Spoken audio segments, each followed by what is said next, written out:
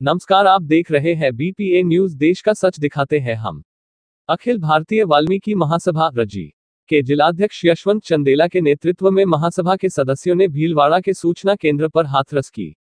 वाल्मीकि समाज की बेटी के साथ हुए अमानवीय तरीके से हुए बलात्कार व जघन्य हत्या और रात्रि में परिवार की मर्ज़ी के बिना दाह संस्कार करने के विरोध में कैंडल जला बहन मनीषा को पुष्पांजलि अर्पित कर श्रद्धांजलि दी और हत्यारों को जल्द से जल्द फांसी व परिवार को मुआवजा व सरकारी नौकरी की मांग की।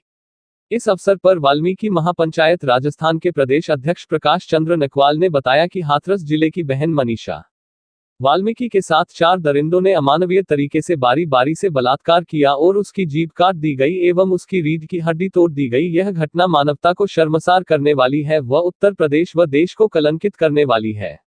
ऐसी घटनाओं की पुनरावृत्ति न हो, इसके लिए हमें सभी तरह के मतभेद भुलाकर समाज हित के लिए संगठित होना ज़रूरी है और जो सरकार समाज हितों की बात नहीं करती, उसके विरुद्ध संघर्ष करके सबक सिखाना की ज़रूरत है। इस दौरान मुस्कान, कोमल, किरण, अन्नू, गायत्री, विकास खोईवाल, सोनू चनाल शिव प्रकाश घावरी, रवि बाबा, प्रवीण घुसर, राहुल, रमन, शिव घावरी, प्रदीप चानाल, लखन डागर, आदर्श डागर, हेमलता, जितेंद्र पीरू लाल जगदीश, राम सिंह, मनोज, सनी चनाल आदि कार्यकर्ता उपस्थित थे। लोग हैं। आरक्षण के अंदर भी हमें बहुत हर जगह पे नुकसान किया जा रहा है। आज हमारी बहन मनीषा के साथ जिस प्रकार से ऐसी घिनौनी जागृति की है, ऐसे घिनौनी तरीके से उसकी हत्या की है, आज किसी ने सुई भी चुकी है तो बड़ा भयंकर दर्द होता है। आप महसूस कीजिए, उसकी जवान काटी गई, उसकी आत्मा ने क्या बोला होगा? और आपके माता पिता क्या सोच रहे होंगे? ऐसा खिलौना कृत्य करने वालों को भी बचाया जा रहा है उस जगह पे। इसलिए वहाँ की सरकार को बर्खास्त करो वहाँ के कलेक्टर एसपी, डीएम सीएम जो भी है, इनको बर्खास्त करने की हमारी मांग है। पूरे समाज के तरफ़ से, पूरे देश के अंदर हमको हाहाकार मचा देना चाहिए। यही हमारी एकता है। ऐसे नौजवान वीरों का अगर साथ रहेगा, मैं पूरे देश के अंदर में विश्वास दिलाता हूँ।